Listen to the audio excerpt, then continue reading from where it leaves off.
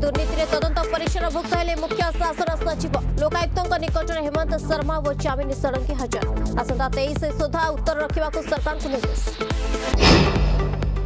କଂଗ୍ରେସ ସାଜିଛି କେନ୍ଦ୍ରାପଡ଼ା ପୋଲିସ ମହିଳାଙ୍କୁ ମରଣାନ୍ତକ ଆକ୍ରମଣ ପରେ ଆଇଆଇସି କହୁଛନ୍ତି ହାତ ଲଗାଇ ନାହାନ୍ତି ଅଭିଯୁକ୍ତ ଦଶ ଦିନ ପରେ ବି ନୋ ଆକ୍ସନ ପ୍ରଶ୍ନ ଘେରରେ ନୀତିଶ ଶେଖରାଙ୍କୁ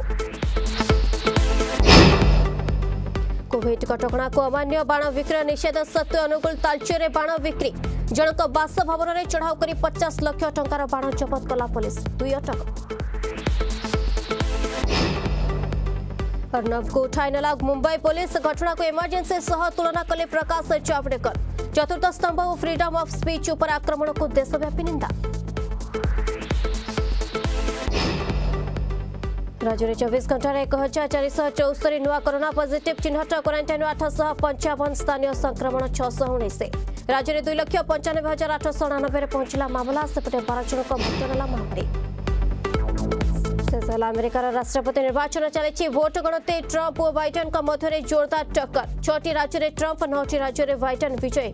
লিংকসাকুনে হোয়াইট হাউস রে কড়া সুরক্ষা ব্যবস্থা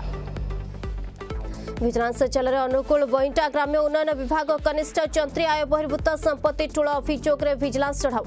ଅଫିସ ସରକାରୀ ବାସ ହୋମେନ ସମେତ ପୈତୃକ ଶ୍ୱଶୁର ଘରେ ଏକକାଳୀନ ରେଡ୍